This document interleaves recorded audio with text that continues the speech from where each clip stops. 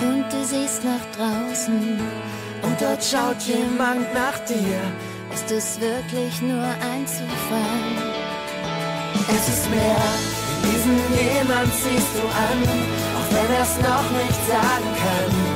Was mit ihm geschieht, wenn er dich wieder sieht.